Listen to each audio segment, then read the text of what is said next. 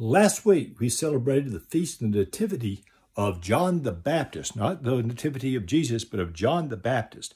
And everybody's pretty well familiar with who John the Baptist is and his role in the New Testament.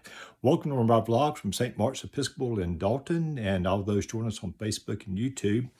Uh, and John the Baptist, as, uh, as most people know, uh, his mother Elizabeth was related to Mary, the mother of Joseph. And he came from a long uh, Jewish tradition. In fact, his father Zachariah was a, uh, a priest in the Jerusalem in the temple in Jerusalem, and very prominent figure there. But despite this pedigree, when we meet up again with John the Baptist as an adult, he is out in the wilderness. As mentioned, all four Gospels they tell of John as an adult wearing camel hair and leather for clothing, and eating locusts and wild honey, and traveling around the desert around the Jordan River, baptizing and attracting many followers. Now, John's message was very simple. He says, Repent, for the kingdom of God is at hand. For the Messiah is soon to come, that God will send the Messiah, uh, who will be sent by God to baptize you, not with water like I do, but with the Holy Spirit.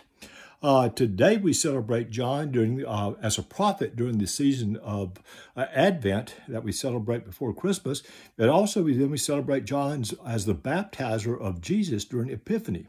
John preached that he was he was not the light. He was not the Messiah. He was not the person that God was sent, but he was uh, uh, not the light, but he was sent to be a witness to the light by God, a witness to the light.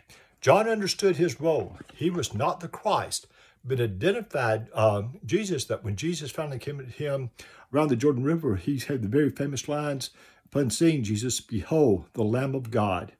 Now, many followers of John became followers of Jesus. And a lot of people were sort of following Jesus instead. And was pointing out to John that Jesus was becoming a more attractive person, uh, you know, among the uh, people than John was.